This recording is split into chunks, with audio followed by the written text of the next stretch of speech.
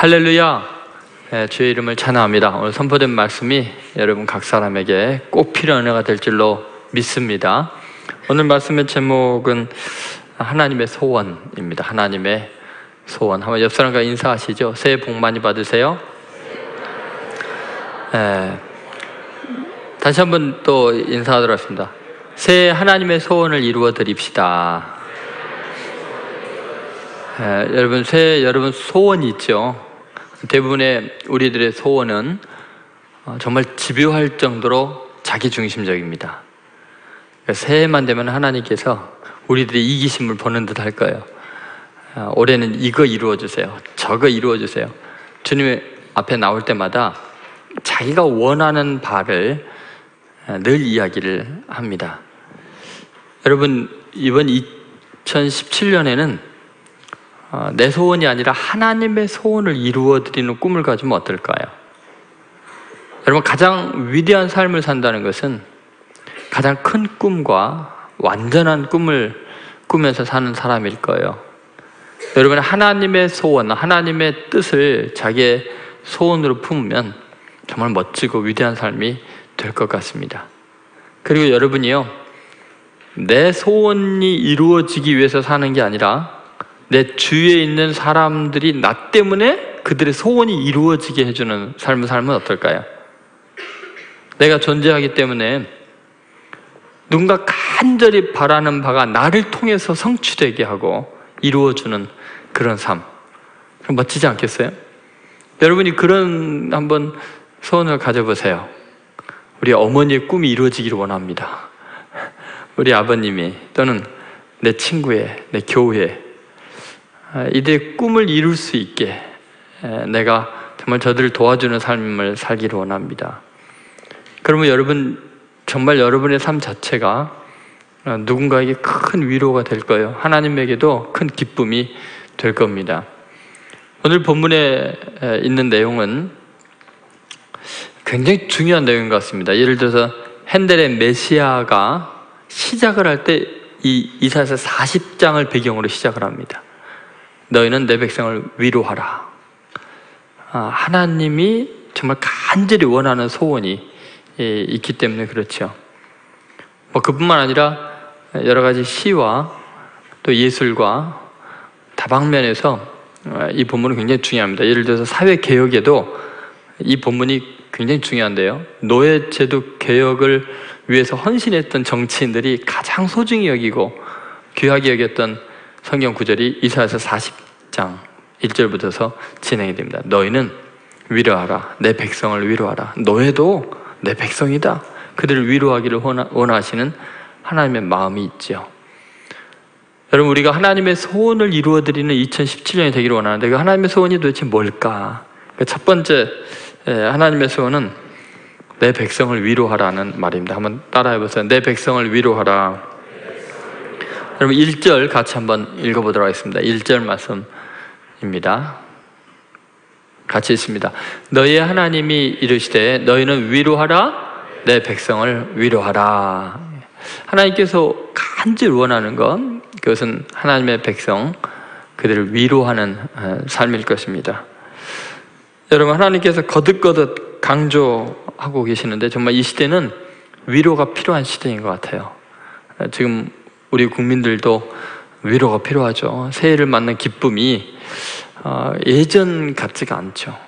불확실한 정치, 경제, 세계적인 정서 속에서 마찬가지입니다. 그리고 이, 이 세상에 너무나 많은 사람들이 지금 위로가 필요합니다.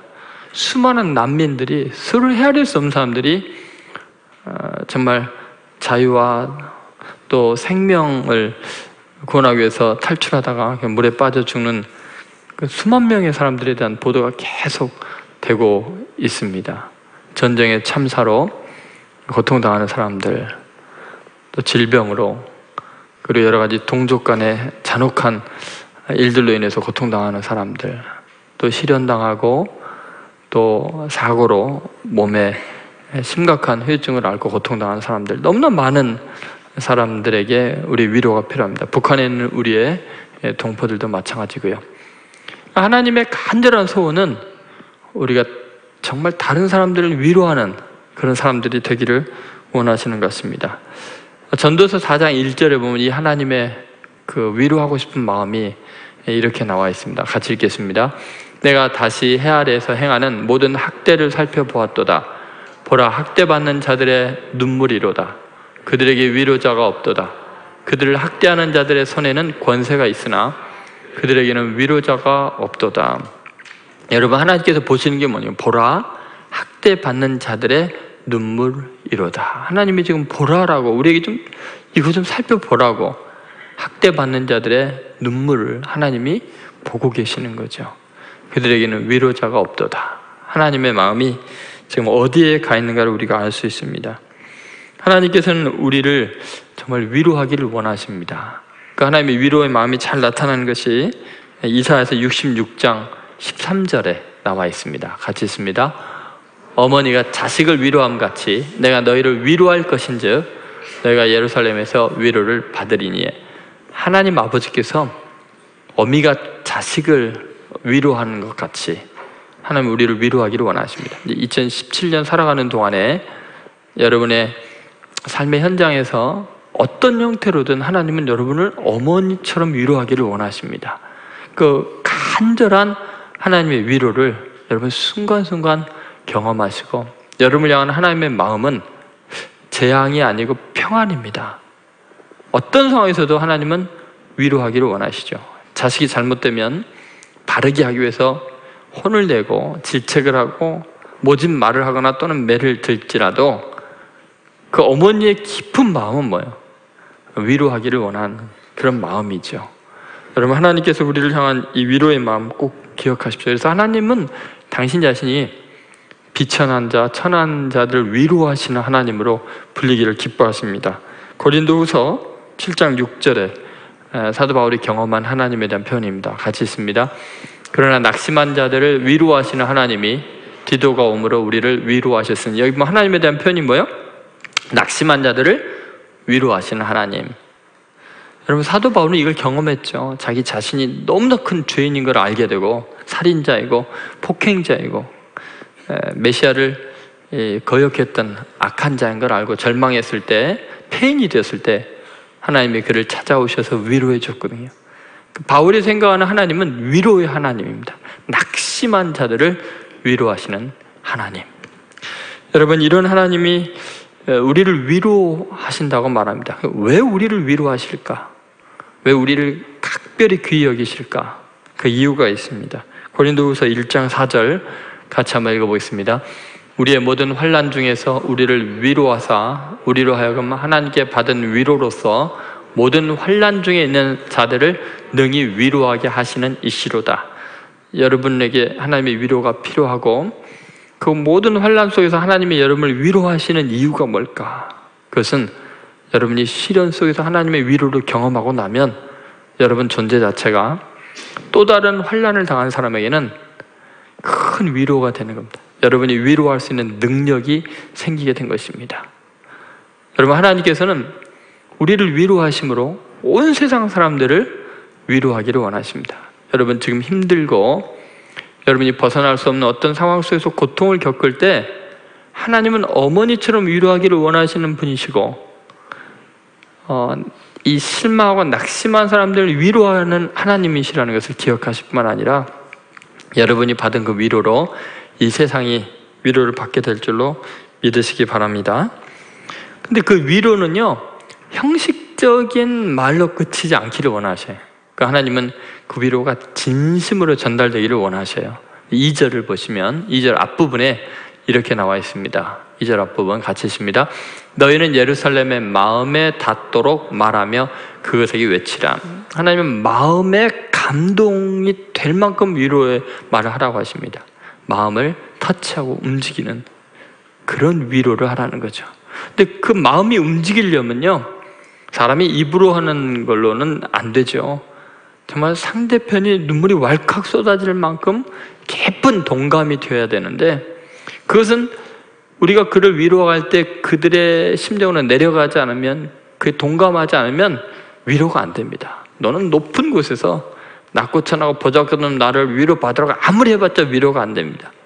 그래서 예수님께서 우리를 위로하러 오실 때는 가장 비천한 예, 정말 짐승의 우리에 태어나시고 십자가까지 낮아지시고요.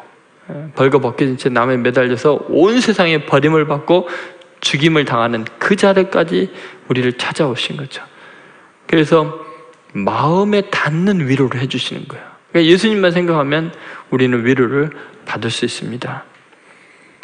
백성들을 위로해야 되는 그러면 가장 중요한 근본적인 위로는 뭘까요, 도대체? 그 내용이 이제 2절 그 뒷부분에 나와 있습니다. 2절 뒷부분 읽어보겠습니다. 그 노역의 때가 끝났고 그 죄악이 사함을 받았느니라.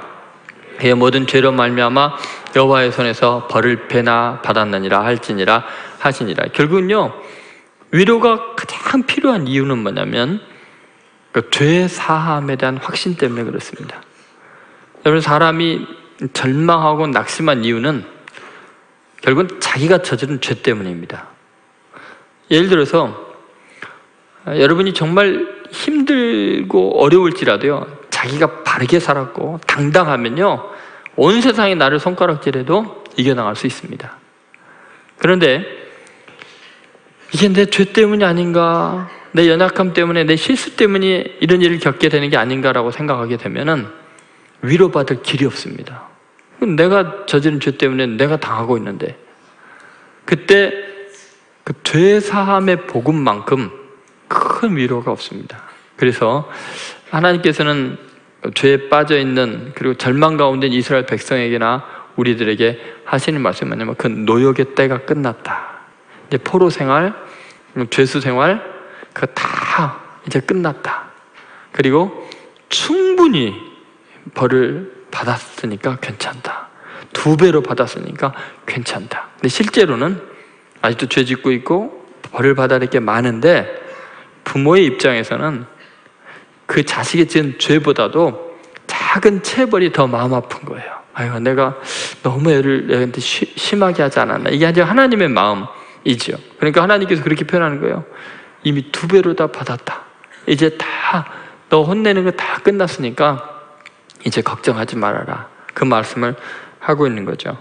여러분 어떻게 하나님이 그럼 우리의 이 죄의 문제를 이렇게 넘어가실 수 있을까요? 노역의 때가 끝났고 벌을 두 배로 받았다. 실제로 우리의 죄에 대해서 예수 그리스도께서 정말 몇 배로 당하셨습니다. 우리가 지은 죄보다도 훨씬 더 큰 노역을 당하셨죠.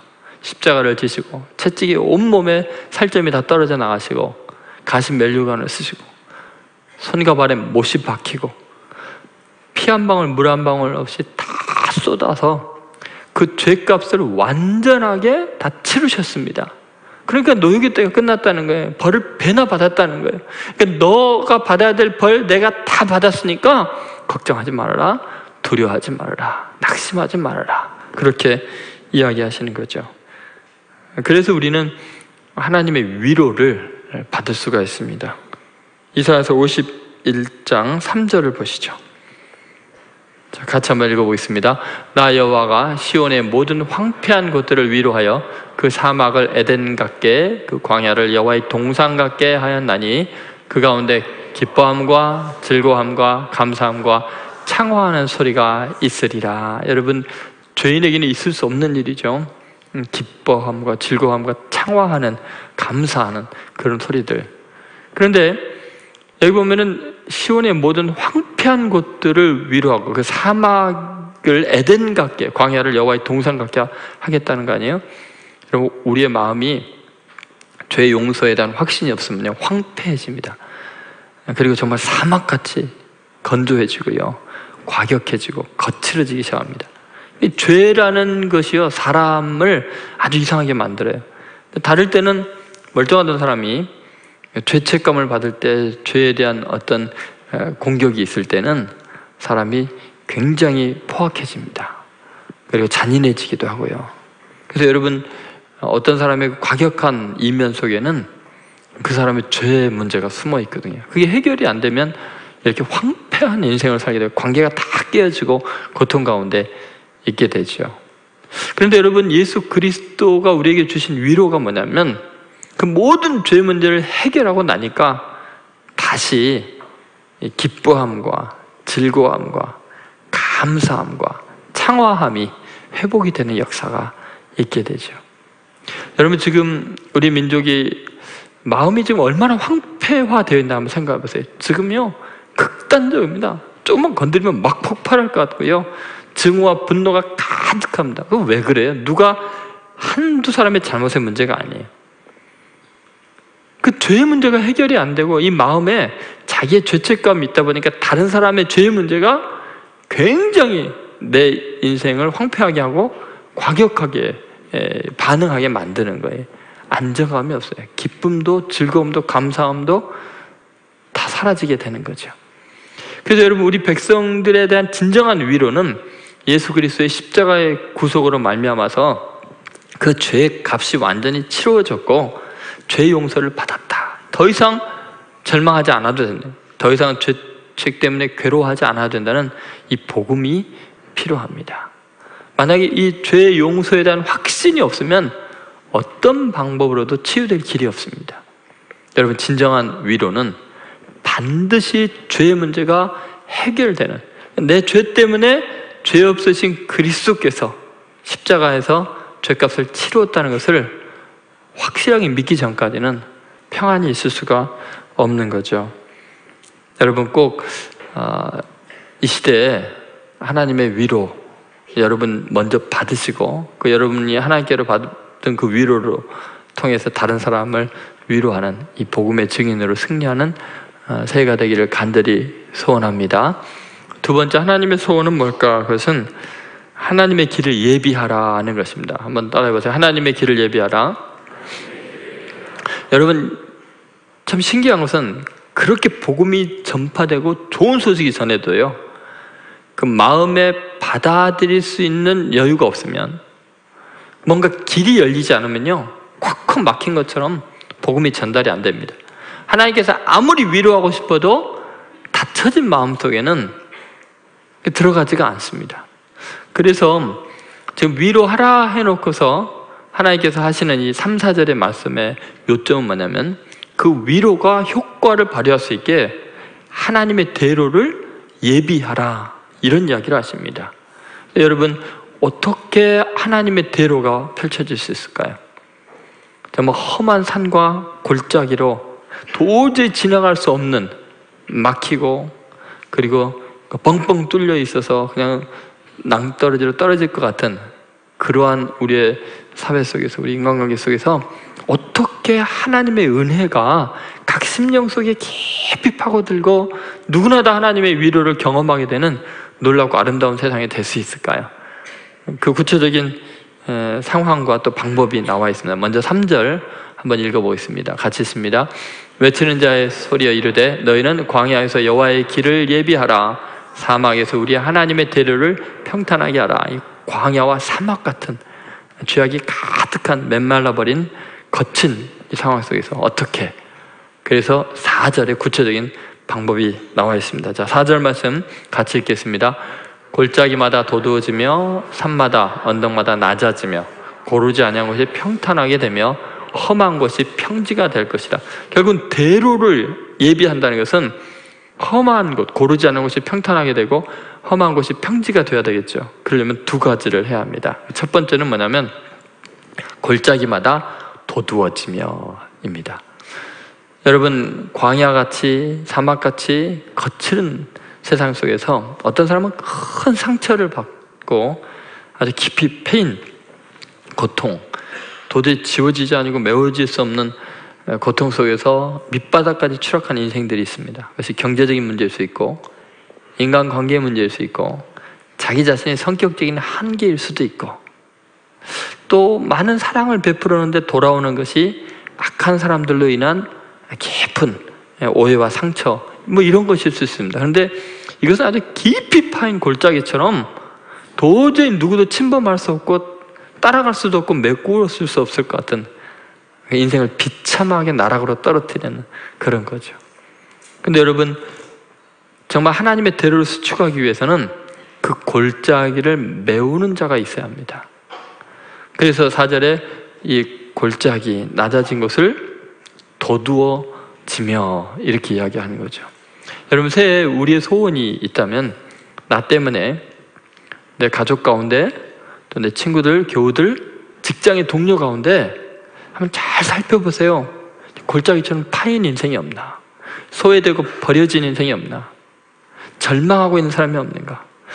그들을 찾아가서 도두어 주는 거. 그것이 굉장히 중요한 하나님의 대로로 수축하는 일이고 백성들을 위로하는 구체적인 방법입니다. 우리는 늘 그렇게 생각해요. 내 자신의 부족함과 억울함만 생각하는데 우리가 조금만 살펴보면은 너무너무 힘들어하는 사람들이 많아요. 특히 가족 가운데서도 그렇고요. 교우들 가운데도 그렇고 이 백성들이 지금 그러한 형편입니다. 그래서 어떻게 하면 낮은 것을 도두어 줄까? 아, 그것이 중요하고요. 두 번째는 높은 곳이 낮아지는 일입니다.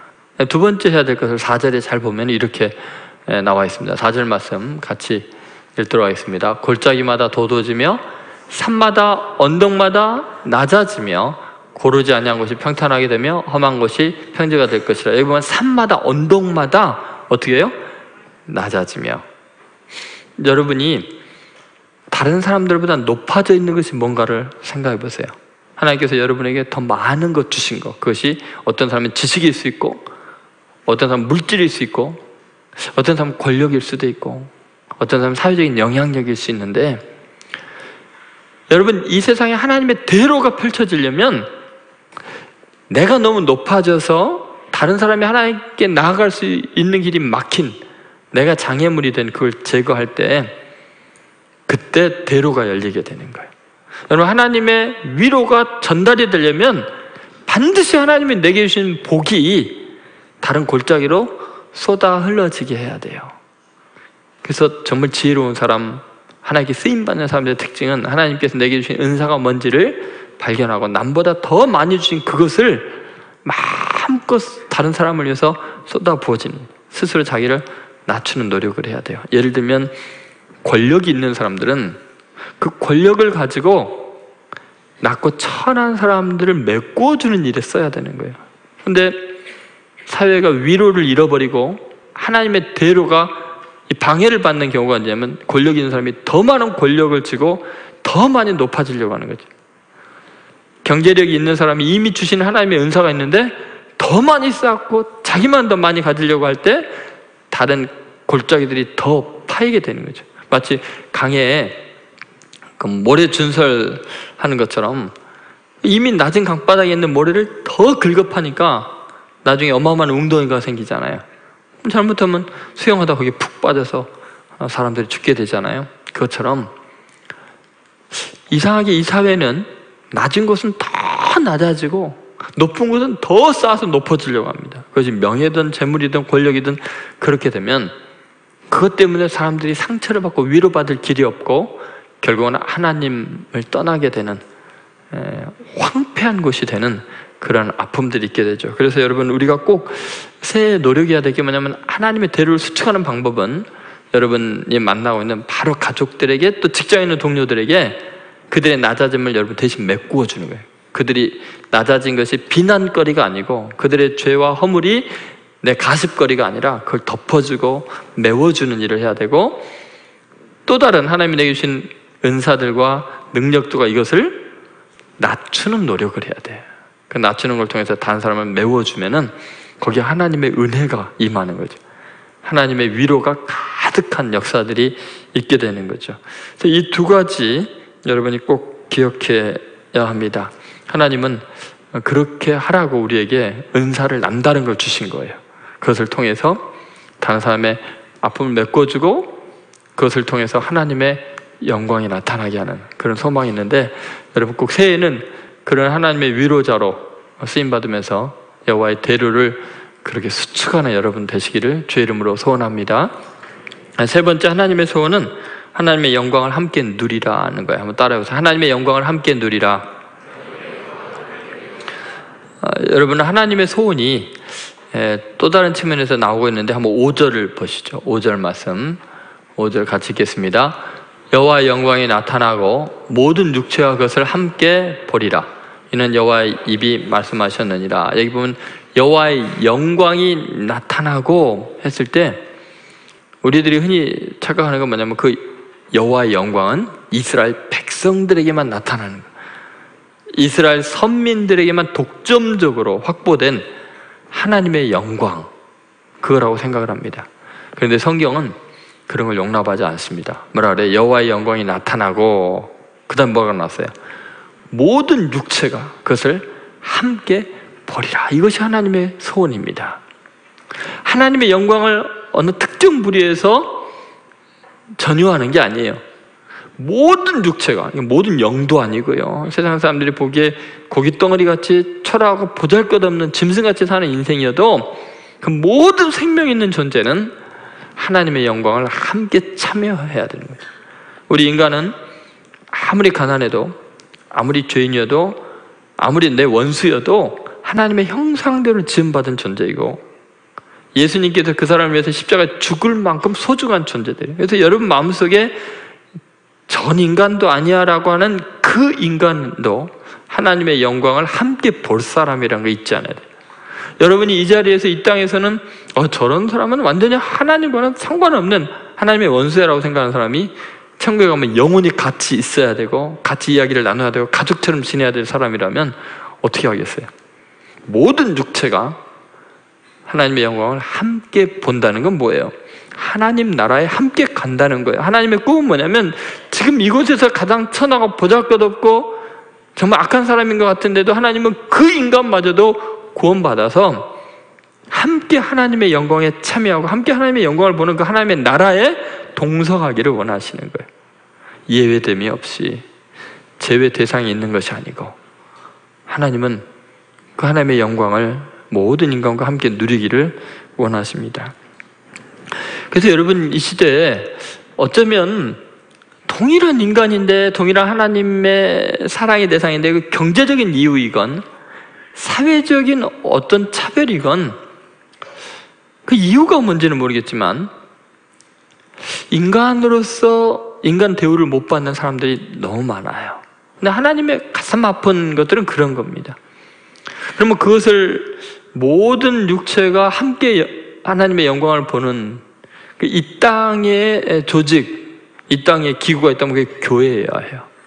교회에 오면 아무리 보잘것없는 사람도 하나님의 영광의 광채에 함께 누리게 해야죠. 하나님의 자녀로서 존귀함을 입을 수 있어야 돼요. 그런 것들을 여러분이 지금 실천해야 돼요. 그래서 여러분이 청년부 예배 올 때도요, 그 모든 사람을 존귀히 여기세요. 우리 신천교회만 오면은 너무너무 귀중히 여기고 하나님의 영광의 광채가 바라는 사람인 것처럼 귀히 여기는 어, 그러한 모습들이 있어야 될 거예요. 하나님의 꿈은 그렇게 모든 인간이 하나님 앞에 존귀히 되기를 원하십니다. 하나님의 영광에 참여하길. 어, 중세 때 3세기경에 텔레마쿠스라는 수도사가 있었어요. 이 수도사는 정말 일생을 하나님만 바라보고 하나님의 뜻을 이루기 위해서 세상의 모든 영광을 버리고 수도원에 가서 깊이 기도하고 말씀을 읽으면서 하나님과 깊은 교제 가운데 있었어요. 근데 텔레마쿠스에게 어느 날 하나님께서 말씀을 하셨어요. 로마로 가라. 로마로 가라. 텔레마쿠스는 세상을 떠나서 등지고 주님만 바라보기로 했는데 자꾸 하나님이 로마로 가라니까 거역할 수가 없었어요. 몇 개월을 죽을 고비를 넘기면서 걸어서 걸어서 저는 로마에 도착합니다. 로마에 도착했더니 사람들이 막 때로 몰려가는 거예요. 마침 축제 일이었고 로마의 원형 경기장에서 검투사들의 싸움이 진행이 되고 있었던 거예요. 거기서 보니까 너무 끔찍한 일을 본 거예요. 하나님의 형상대로 지음받은 인간들끼리 상대편이 죽을 때까지 공격을 하는 거예요. 그리고 그 잔인하게 손이 잘리고 눈이 파이고 깨져나가고 죽어가는 그 모습을 보면서 로마의 시민들이 소리소리 지르면서 환호하고 좋아하는 걸 보면서 이건 도저히 하나님의 형상대로 지음받은 인간이 해서는 안 될 짓을 하는 거예요. 왜 하나님께서 나를 로마로 가게 하시는가를 텔레마코스는 깊이 생각하게 되죠. 그 하나님의 뜻을 깨닫고는 그 원형 경기장으로 그냥 뛰어 들어갑니다. 그 사람들이 깜짝 놀라서 검찰들도 당황했죠. 갑자기 그 위험한 원형 경기장에 수도 사 옷을 입은 그 초라한 사람이 뛰어드니까요. 그러면서 외칩니다. 예수 그리스도의 이름으로 명령합니다. 멈추십시오. 크게 외칩니다. 사람들이 저 웬 놈이냐고, 저 끌어내라고 비웃고 정신 나간 사람으로 알았습니다. 그런데 텔레마커스가 중단하지 않고 계속 외칩니다. 예수 그리스도 이름으로 명령합니다. 멈추십시오. 그만두십시오. 사람들이 저놈 죽여라, 죽여라 하고 소리를 지릅니다. 이거 뭐 이렇게 재밌는 그 검투 경기를 지금 다 망치고 있으니까요. 텔레마코스는 자기를 죽이라는 소리를 들으면서도 예수 그리스도 이름으로 명합니다. 멈추십시오. 사람들이 죽이라고 죽이라 하니까 검투자 중에 한 명이 텔레마코스를 무방비한 상태에 있는데 그대로 칼로 찔러서 잔혹하게 죽이, 죽입니다. 텔레마코스가 숨이 끊어지면서 마지막으로 또 큰 소리 외치면서 마지막 숨을 거두는데 예수 그리스도 이름으로 명령합니다. 멈추십시오. 그리고 그 자리에 쓰러졌어요. 그가 피 흘리면서 쓰러지면서까지 권면하는 그 말을 듣고는 갑자기 경기장이 숙연해졌어요. 그리고 로마 황제가 그 자리에 일어나서 고개를 숙이고 그냥 조용히 사라졌어요. 고관 대작들과 장군들이 그 모습을 보고 뒤따라서 고개를 숙이고 나갔어요.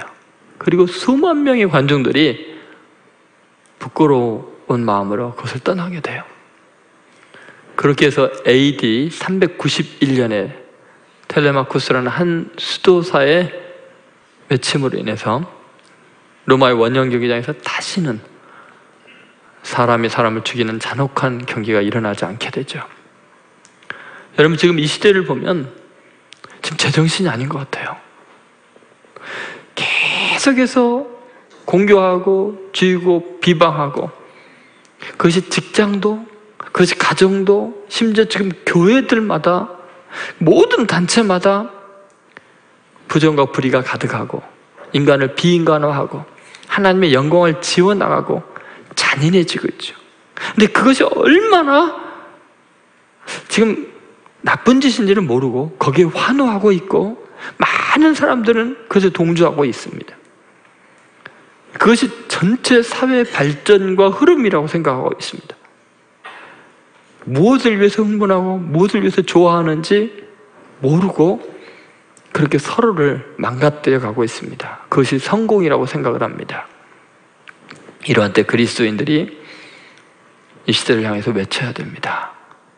하나님의 영광을 함께 봐야 될 존귀한 사람들이라고. 더 이상 서로를 해하는 이 잔혹한 일을 멈추십시오. 예수 그리스도의 이름으로. 그분이 우리를 위해 죽으셨고, 우리를 사랑하는데 더 이상 서로를 잔인하게 돼서는 안 된다고. 여러분, 이 시대 정말 하나님의 소원이 있다면 우리 모두가 하나님의 영광스러운 자녀인 것을 서로가 느끼게 해주는 것입니다. 여러분 설교 말씀을 들을 때 생각나는 사람이 있었나요? 내가 더 존귀하게 여겼어야 되는데 내가 너무 못되게 굴었구나. 2017년이 시작이 되면서 오늘 회개하셔야 됩니다. 그러니까 오늘 예배 끝나면 바로 지금 할까요? 카톡을 보내든지 미안하다고 잘못했노라고 왜냐면 예배 끝나면 또 딴 생각 하니까 지금 감동이 있을 때 빨리 다 보내라고 할까요? 정말 미안하다고. 당신은 하나님의 영광을 입은 존귀한 자라고. 내가 그동안 무리하게 했던 거, 멸시했던 거 용서해달라고. 서로 위로해야 됩니다. 하나님이 위로하라, 내 백성을 위로하라 하잖아요. 하나님께서 말씀하시는 내 사랑이 저들에게 전달될 수 있도록 여호와의 대로를 준비하라고. 그러려면 너가 다진 것을 메워주고 너 자신이 높아진 것을 스스로 허물어야 그런 일이 있을 수 있다고. 그래야 서로가 존귀하고 영광스럽게 하나님의 영광에 참여할 거라고 말합니다.